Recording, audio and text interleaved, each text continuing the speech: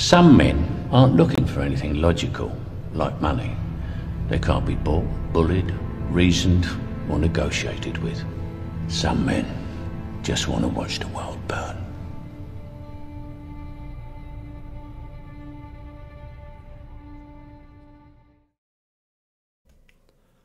I believe whatever doesn't kill you simply makes you stranger.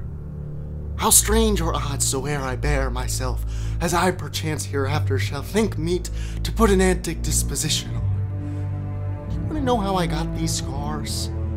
My uncle was a drunkard and a fiend. And one night he goes off crazier than usual. My father was the king. He doesn't like that. Not one bit. So, no one watching, takes the poison to his ear, laughing while he does it.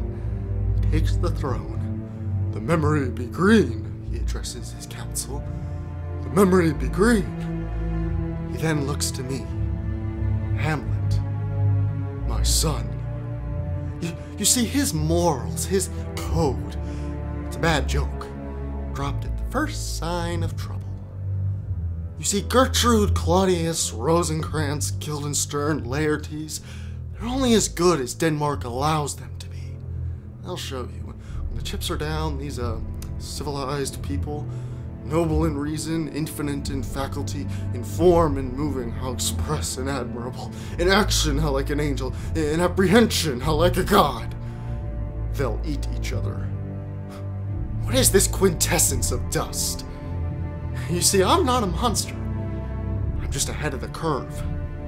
I essentially am not in madness, but mad in craft.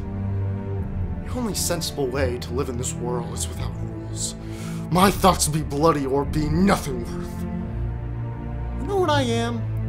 I'm a dog chasing cars. I wouldn't know what to do with one if I caught it. You, you know, I, I just do things. Why yet I live to say this thing's to do, sith I have cause and will and strength and means to do it. Examples as gross as earth exhort me.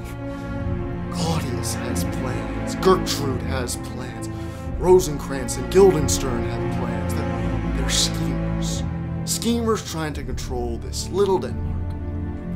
I'm not a schemer. I try to show the schemers how pathetic their attempts to control things really are. I just did what I do best. I took our little Denmark and I turned it on itself.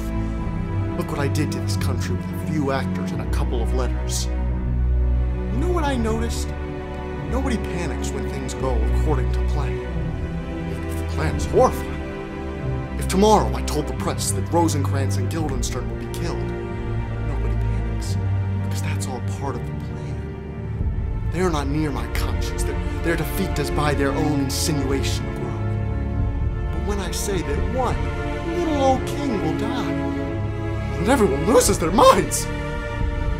Upset the established order, and everything becomes chaos. I'm an agent of chaos. I took Denmark's false king, and I brought him down to my level. It wasn't Thou incestuous murderous damned Dane drank off this potion. I but mad north northwest. Well, when the wind is southerly, I know a hawk from a handsaw. You see, madness, as you know, is like gravity. All it takes is